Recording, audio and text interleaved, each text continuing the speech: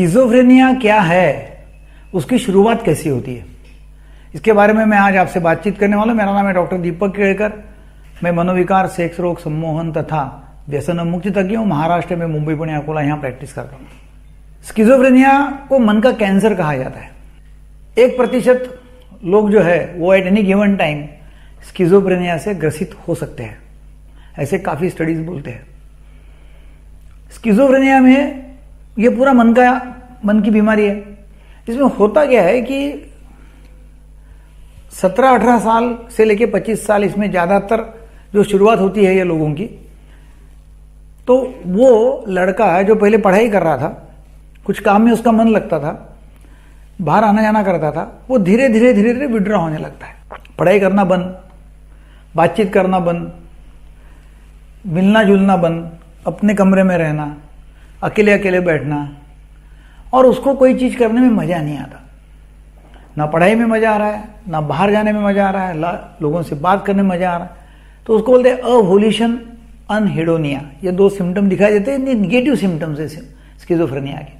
और इसमें मालूम नहीं पड़ता कि भाई इसको कोई स्किजोफ्रेनिया हो रहा है या हो गया है।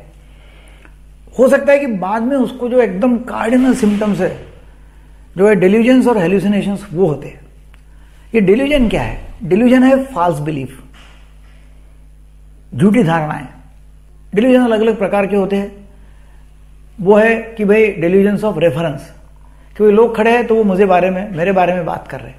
वो मुझे इशारे कर रहे हैं.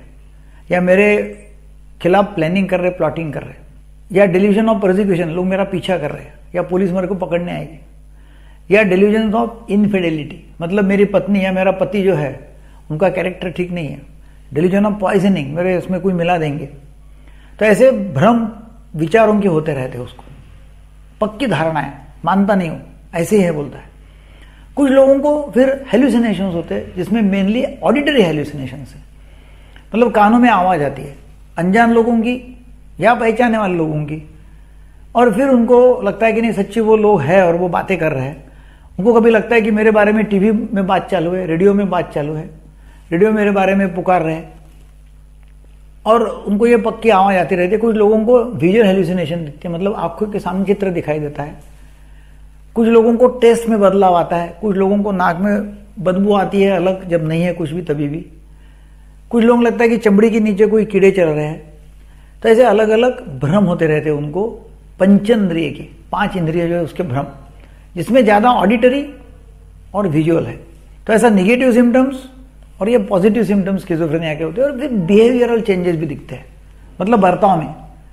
चुपचाप बैठना, कभी वो आवाज़ आ रही, उसको रिस्पॉन्ड करना और फिर बातें करना उनसे। या आक्रामक होना।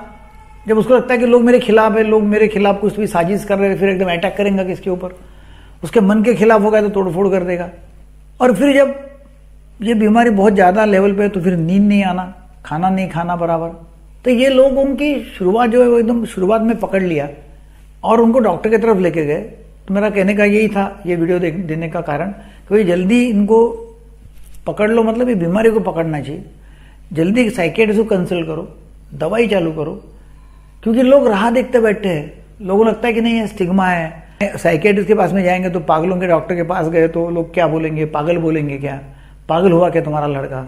ऐसा बोलेंगे तो ऐसा करने की ज़रूरत नहीं है। डॉक्टर के पास में जाने का, आजकल तो हम वीडियो कॉल करते हैं। आप वीडियो कॉलिंग कर सकते हैं, हमें कंसल्ट करो। आपको घर तक दवा पहुँच जाएँगी, हम घर में दवा आपको भेज देंगे। ज़रूरत पड़े तो हॉस्पिटल में लाने का अदरवाइज़ हॉस्पिटल में लाके जो सोशल स्टिग्मा है कि लोग क्या कहेंगे, वो भी अभी डरने की ज़रूरत नहीं है। इलाज करेंगे तो जल्दी अच्छा हो जाएगा। स्कीजोफ्रेनिया के सिम्टम छह महीने तक ऐसे रहे तो फिर उसको स्कीजोफ्रेनिया बोलते हैं। अदरवाइज़ उसको बोलते हैं स्कीजोफ्रेनिया फॉर्म डिसऑर्डर या स्कीजोफ्रेनिया फॉर्म साइकोसिस एक से तीन साल तक हम रिकमेंड करते हैं दवाई। जिसमें एंटीसाइकोटिक्स है न्यूअर एंड ओल्डर और ज़्यादा रहा तो शॉक ट्रीटमेंट है।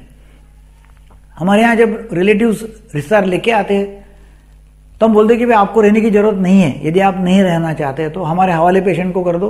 हमारा हॉस्पिटल है जहाँ हम पेशेंट को रखते हैं, उसका इलाज करते हैं। अच्छा होने के बाद में हम भेज देते हैं। हमारा रिहैब सेंटर है, जहाँ हम लोगों को रखते हैं। रिलेटिव्स, या रिश्तेदार मतलब रहने के लिए तैयार है तो उनको रखने के लिए हमारा अलग हॉस्पिटल है, वहाँ रहो, उसका इलाज करो, उसको लेके जाओ। और बाद में फिर ऑनलाइन कंसल्टेशन करके हम आपको दवाई भी भेज सकते हैं। आप हमें ऑनलाइन कंसल्टेशन करने के लिए जो नंबर दिया है, उसके ऊपर कॉल करो। हमारे जो, हमारी जो सपोर्ट टीम है वो आपको सपोर्ट करेगी। और हमारा जो ऐप है, आप डाउनलोड कर सकते हैं, जिसमें भी काफ़ी सारी इन्फॉर्मेशन आपको मिलेगी, ऑनलाइन कोर्सेज वगैरह उसमें है। हमारा जो मकसद है, वो है सबके लिए मानसिक स्वास्थ्य।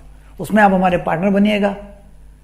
ये वीडियो अच्छा लगा तो ज़रूर लोगों को शेयर करो सब्सक्राइब करो लाइक करो। थैंक यू वेरी मच मानसिक रोगी तथा शराबी के व्यसनी, इनको बिना रिश्तेदार, अकेले हम हमारे हॉस्पिटल में पेशेंट को भर्ती करते हैं और उनका इलाज करते हैं।